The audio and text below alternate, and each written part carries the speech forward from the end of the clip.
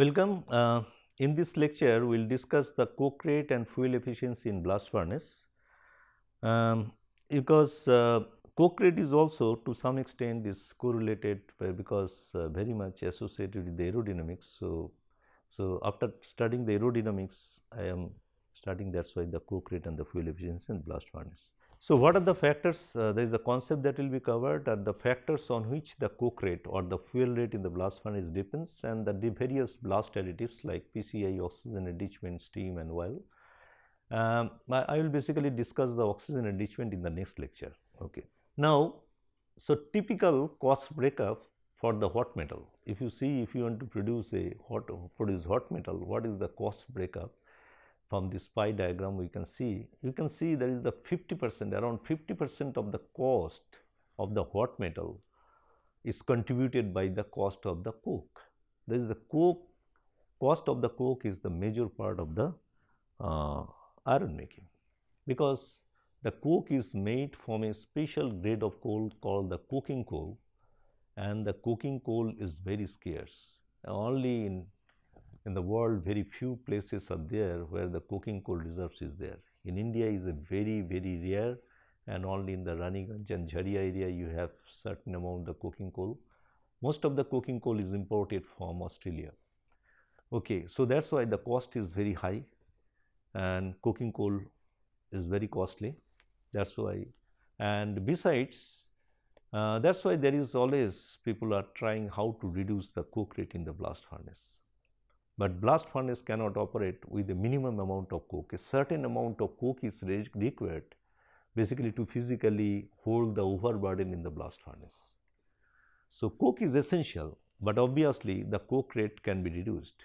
How you can reduce the coke rate? Because if you can supplement the two major function, two function of the coke that is the heat generation and your reduction potential of the gas. If you can give the reduction potential as well as the heat supplement the heat of the coke that is obtained from the coke, then to some extent you can reduce the coke rate. But third function of the coke is to hold the overburden for which a minimum amount of coke is required. But anyway, so initially the blast furnace is used to operate with 700, 800, even 1000 okay, uh, that is the 1 ton of coke per ton of iron produced long before and after that it has decreased significantly and today the coke rate is only say the 350 kg per ton of hot metal. So, and obviously the reduced if you can reduce the coke rate in the blast furnace you can increase the productivity because the in productivity definition I said P is equal to Q by K, K is the in the denominator. So, if you can reduce the coke Basically, the if you if you reduce the coke, basically you are making some space for the iron ore. So, your productivity obviously will be more, right. So, now it is the you can see some developments in the blast furnace iron making. Then uh, that is the iron ore beneficiation previous days. What was first done is basically iron ore beneficiation use of basically overseas rich iron those were the thing because the blast furnace as I say it is very sensitive to the raw material and the raw material quality has to be good. Basically, it should have sufficient strength and abrasion resistant impact strength should be high such that when they are passing through this, when the burden is moving from the top to the bottom, they do not generate much of fines because fines produces a lot of phenomenon like all these irregularities is coming from the fines only. So, that is why the iron ore beneficiation and overseas reach ore those were the uh, initial thing because uh, and then use of iron ore flakes because all the country do not have the rich iron ore they have to import it from outside country because blast furnace cannot operate with a very good raw material. Now then use of iron ore pellets and then the fine agglomeration in the form of pellets, but that is a very costly process that is why. But pellets started into the blast furnace because pellet charge furnace is very very uh, its permeability gives a wonderful permeability of the bed. So, pellet is a very good feed material, but it is very costly. That is why sinter got an edge over pellets. Although pellets are better than sinter to some extent that is the for the bed permeability is concerned. Then oil injection. That is the auxiliary oil injection came into the blast furnace. This oil injection basically why? Because it was an idea that is it can increase the productivity because oil basically can supplement the heat and the reduction potential of the coke that is obtained from the coke So, you can reduce the coke rate and if you can reduce the coke rate, its productivity increase. That is why oil injection came only to increase the productivity, not only productivity, oil injection also can increase the indirect reduction because oil is a hydrocarbon, it gives hydrogen also and hydrogen is a better reductant than coke than the, than the CO gas. So, as a result it promotes the indirect reduction. So, oil injection it can increase the indirect reduction and then it can increase the productivity and efficiency of the furnace and hydrogen is a better reductant than CO for uh, chemical efficiency also concerned. The H2 utilization is better than CO utilization especially at the high temperature as we have seen. So, oil injection came and then your blast temperature because if you increase the blast temperature also then also you can supplement you can supplement the heat that is provided by the coke and you can reduce the coke rate. Then top counter pressure, beltless charge, beltless top charging and then you have the top pressure. If you have a top pressure then you can produce more because you can use more blast rate without increasing the pressure drop if you can increase the high top pressure. So, that was came and then improvement of the iron burden properties that is impact property strength just by agglomeration different agglomeration technique came there is the sintering and then pelletization. So, and then also you can improve the burden properties by proper beneficiation. Um, you can make the ore rich in iron. So, and then I will come to that all this thing and then improvement of the coke properties also came and then came the coal injection because the initially it was oil injection only to increase the productivity and the efficiency to increase the efficiency oil first came in 19 around before the world war II that was the only uh, oil injection was the additive only that was the only additives through the blast.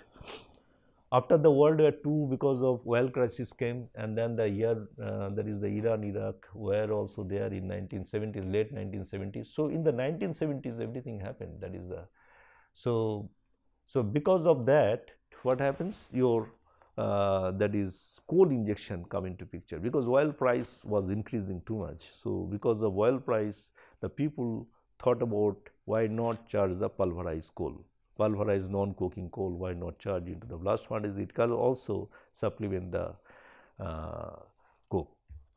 So, then came the coal injection. Basically it was the first coke injection plant came in Japan I think in 1981 and after that it is steadily increasing. Nowadays most of the plant are equipped with the pulverized PCI injection, pulverized coal injection and uh, uh, nowadays the benchmark is 200 kg per ton of hot metals. So, 200 kg of PCI is charged along with 350 kg of coke around 550 is that thing total coal charging.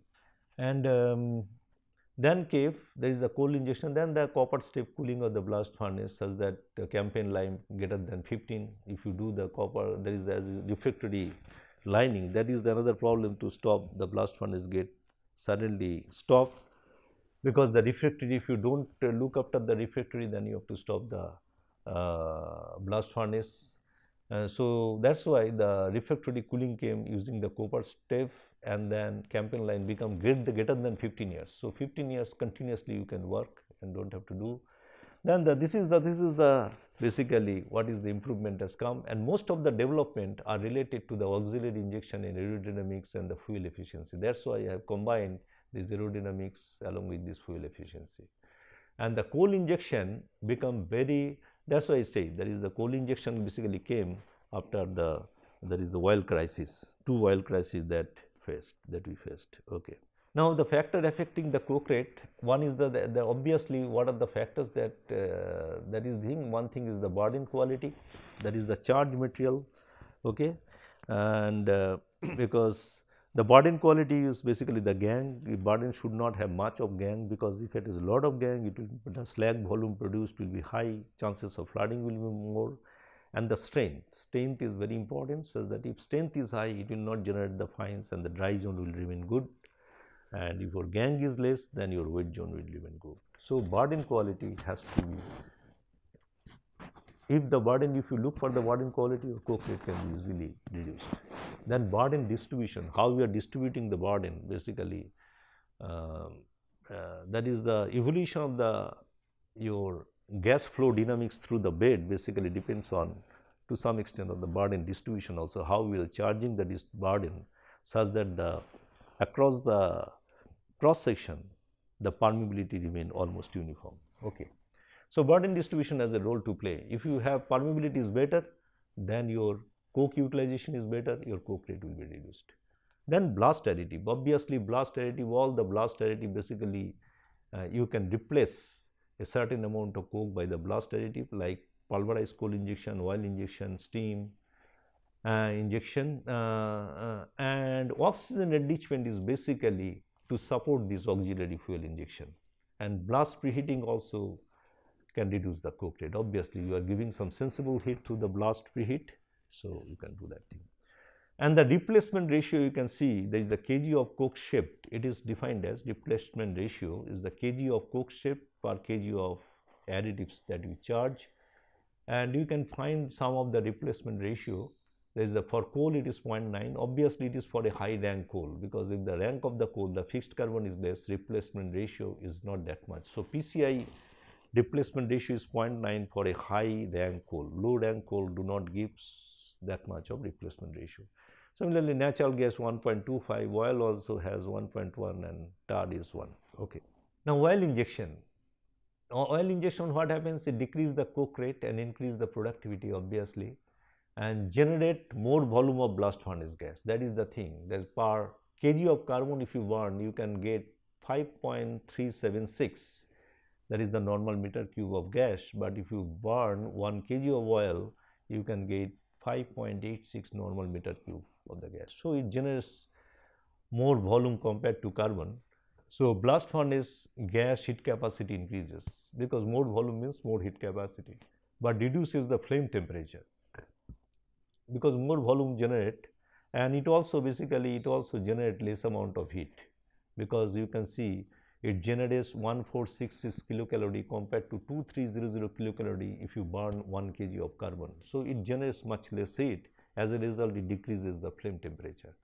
If the flame temperature is less then your heat exchange what is that? That is the potential. That is the heat exchange potential of the gas also become less. Because less temperature temperature gradient is less is heat uh, potential is also less. But it increases the heat capacity of the gas more volume of the gas so heat content become more but its potential become less so as a result your isothermal zone shrinks to allow more furnace volume for the heat exchange because this volume of the gas is high. So, you have to allow more furnace volume for the heat exchange between solid and gas. As a result, your isothermal zone gets shrink.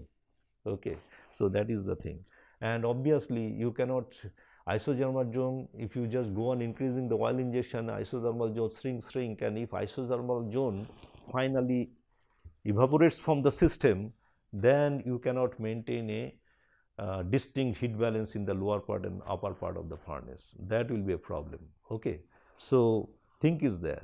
That's why if you do too much of oil injection then you have to supplement it by oxygen enrichment usually accompanied with the oxygen enrichment. Why oxygen enrichment? If you do the oxygen enrichment what you are doing basically you are replacing some amount of nitrogen by oxygen.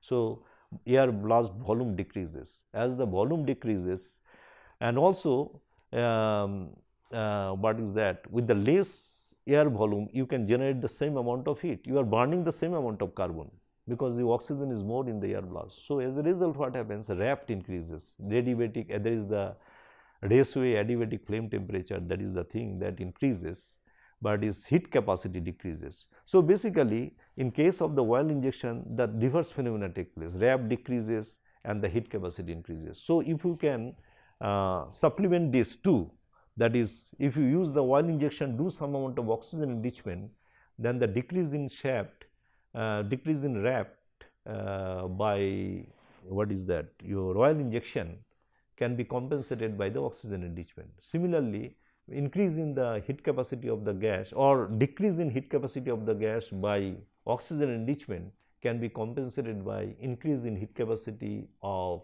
gas by oil injection. So, that is why they are basically complementary each other. So, you have to do both the things. And oil injection provides hydrogen which is good for efficient indirect reduction. Direct reduction take place in the blast furnace uh, and one thing very important that is the direct reduction in the blast furnace eventually take place because lower part the temperature is very high and carbon is there. So, direct reduction eventually take place, but think is that indirect reduction that you have to increase the indirect reduction in the blast furnace because the in the dry zone gas moves very fast and the residence time and interaction is not very high. So, and in that case uh, the indirect reduction because and also the permeability bed permeability is a question. So, if you do not have bed permeability, so you have to increase the gas and the solid interaction too much for the indirect reduction. So, and also if you can replace some amount of the CO by hydrogen, hydrogen is a better reductant yes thermodynamically as well as kinetically. So, in that case your indirect reduction can increase. That is why uh, oil injection is better because it provides the hydrogen. So, next we come the PCI because nowadays it is not oil injection anymore because of oil prices increases and then people have shift to the PCI and the PCI today is the major uh, blast additive you can say. And its replacement ratio as I said basically if it is the rank of the coal is very high it can be 0.9 but it can be as low as 0.6 also depending on the rank of the coal. So, Armco first installed such machine in Oita, Oita Japan in 1981 and this is the schematics that is the how it is done. Basically you can see this is the raw coal burden, the uh, bunker is there, here is the coal are stored and then they go to the pulverizer, it is pulverized here. After that you have to air dryer, there is the air heater is there because the coal has to be dried up. Because if it is not dried up then its flowability will be less and also it will add to the endothermic reduction endothermic uh, reaction. So, basically the pulverizer is there. After pulverizing you have to dry it completely. And once it is dried then you take it to the cyclone hydrocyclone separator because this cyclone separator is required to take out the fines which is the powdery mass because the powdery mass basically also reduces the flowability of the uh, flowability of the coal PCI. But its size has to be low such that it burns in the ratio also. Size has to be low, but too much too low size or the powdery size is also not good for your uh, flowability point of view. That is why it is taken to the cyclone and in the hydrocyclone you take out the fines and in a back filter and then the undersize come up here and this is the reservoir tank and from here here you can find there are basically feed tanks are there these are the three feed tanks and then you are compressed nitrogen you are passing as a carrier gas because you have to uh, because coal you cannot charge through the nozzle because if you want to pass through a pipe you have to have some kind of carrier gas. So, basically nitrogen and air is used as a carrier gas to pass it uh, to the through the distributor and then basically loading ratio here it is decided how much solid to the gas and then after that you pass it through the um, what is that called our uh, tuyere. Now you can see it is in the it is the bigger form it is given here. This is with injection lance it comes from the side and enters into the tuyere.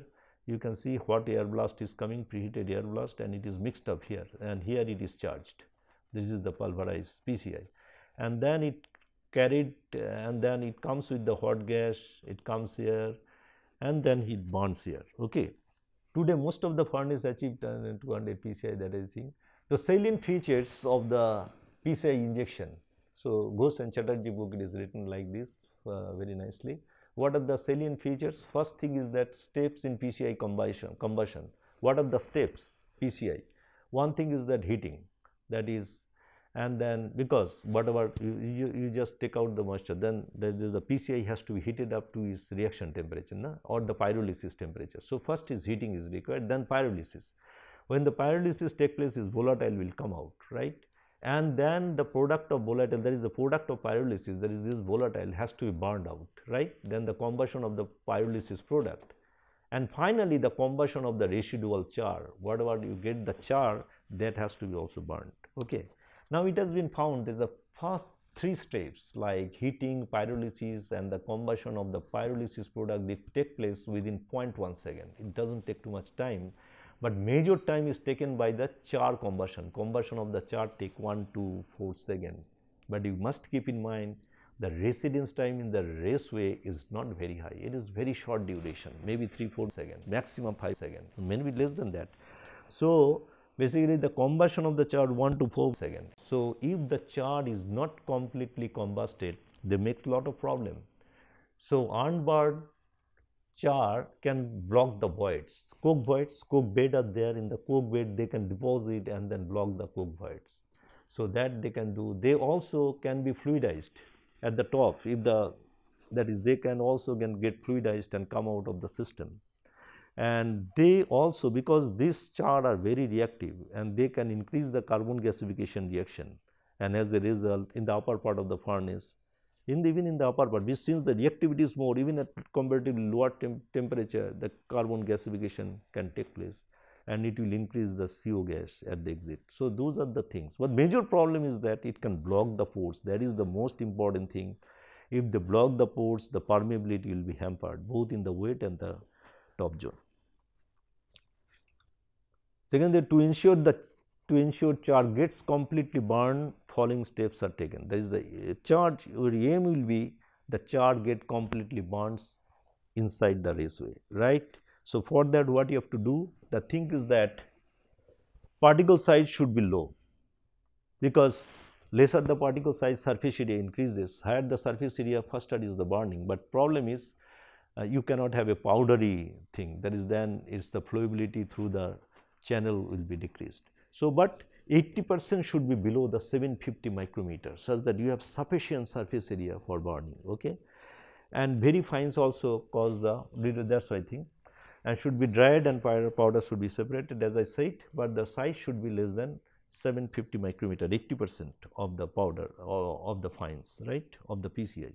And it has been found that the high volatile coal are combusted better because it has been found there is a chart produced from the high volatile coal those are also very porous and very reactive as a result they burn faster.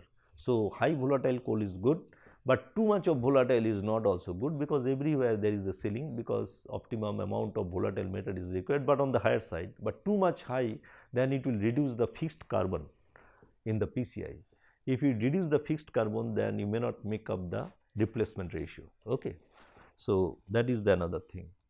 And third is that low ash always low ash coal is favored because if you have more ash one thing is that ash contain lot of say silica. So, as a result uh, silicon in the hot metal will increase because it directly goes from the raceway there is the silica bonds to SiO gas and SiO gas in presence of carbon converted to silica and get into the hot metal right that is one problem. Another problem is that if you have a large amount of the slag then also the volume of the slag will be high and that can cause the flooding in the wet zone. So, now so after this PCI, so PCI you understand and then we come to the preheated air blast there is the blast furnace. So, uh, stoves and uh, this preheated air as I said preheated air means it carries some sensible heat along with it. So, if you have some sensible heat basically you can supplement some of the heat generation by the coke as a result you can reduce the coke rate obviously.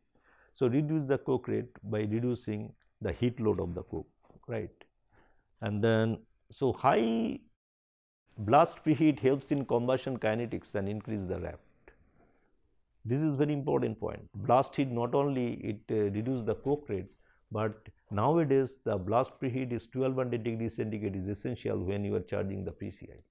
If you the hot blast, it can easily heat up the coke very quickly it will heat up the coke, it will do the every process will be faster because higher the temperature kinetics is very fast. So, coal combustion also will be facilitated if you have a preheated air because when you charge the PCI, it is the, it is fast interacting with the hot air. So, if the hot air is there is the basically it is the hot air that is basically heating it up and then uh, its pyrolysis is taking place and all this heating and pyrolysis all are endothermic and it is extracting the heat from the hot air only. So, if the hot air has sufficient heat potential also that is the higher temperature means his heat potential is high which quickly can give the heat. Uh, and its capacity is also high. So, as a result the blast preheat is very important. Higher the blast preheat PCI combustion will be facilitated. Then air is preheated and, and how the air is preheated that is very important you need to know that is basically air is preheated in the blast furnace stoves. I will just talk about some stoves around 20 to 40 percent of the top blast furnace gas whatever the blast furnace gas is produced it is also rich in CO quite amount large amount of CO is there around maybe 15 to 20 percent CO is there in the blast furnace gas. So, a part of it around 25 to 40 percent and also blast furnace gas has sensible heat also lot of gas are coming at around 100 to 200 degrees centigrade lot of sensible heat it contains CO so chemical heat is also there.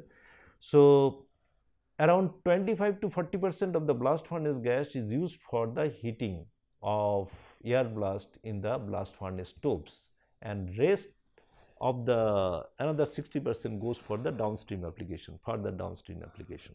Okay, so blast furnace gas has a utility and this blast furnace gas 40 percent 25 to 40 percent blast furnace gas is used only for preheating the air in the blast furnace stoves. Now, the stove is a tall cylindrical. This like this very simple. Stove is very simple. You can find a tall cylindrical part that is it is around height around 20 to 36 meter and diameter 6 to 8 meter. And it is the steel cell lined with insulating bricks are there. Obviously it is a furnace so insulating brick has to be there. You can find it has two chamber. One is that combustion chamber another is the checker brick works this checker brick works means with a lot of the brick works is such that it has a lot surface area, lot of surface area. So, in the first cycle what you do, in the first cycle that is the, you burn the basically the blast furnace gas, BF gas, you blast furnace gas, you burn it here by in presence of oxygen and whatever the heat is generated, this is called the combustion chamber and heat is generated and heat is exchanged with this checker brick works and because of large surface area, it easily quickly takes up the combustion heat. Okay. Hmm. So, it takes around that is the that is the thing. It takes around 2 to 4 hours for heating up. So, heating up it take little time. There is the combustion and 2 to 4 hours for the heating up. Then the combustion stops. And after that in the next cycle what you do when the checker bricks is heated up and then you pass the air through the checker bricks in the reverse cycle. Air through the checker bricks and then air get heated up by taking the heat from the checker bricks. Okay. So that is the way it done and then it cooling it takes around that is the air takes around 1 to 2 hour right for heating of the air or cooling of the checker brick works. So, since the cooling of the checker bricks is faster than heating a minimum of 3 stoves are required one on cooling and 2 on always on heating. 2 should be on the heating and 1 is cooling because your uh, heating of the checker bricks require uh, more time compared to his cooling. It first cool, cool down very fast, but he heated up little time. So, that is why two remain on heating, one in cooling. So, this is about the hot blast stoves. Okay. So, the this the reference lot of references we have uh, used here. One is that Amit Chatterjee lecture at IIT Kharagpur 2007 and then WAVE and then AK Biswas, Professor Dipak Mazumdar, first course in iron making, steel making and then another WAVE and then Ghosh Chatterjee. Okay. So, what are the conclusion? One thing is the reduction in coke rate in blast furnace leads to reduction in cost and increase in the productivity. This is important. And coke rate may be reduced by better burden and its distribution. That is one thing and we will discuss about the burden preparation and the distribution later lecture. And the coke rate can be reduced by blast additives, right? Blast additives like oil, PCI and then uh, steam injection will come later on and blast preheating. And oxygen enrichment basically is uh, used uh, to supplement this process basically. I will talk about that thing. So, all these blast additives are used along with the oxygen enrichment. And for PCI injection coal should be selected with volatile metal ash and size distribution with proper volatile matter. It should not be very high and ash should be as low as possible and size distribution I have said 80 percent should be less than 750 micrometer. And blast preheating not only reduce the coke rate, but also helpful for the PCI combustion kinetics. Okay, thank you. And then in the next lecture, I will discuss about the oxygen enrichment and the steam injection.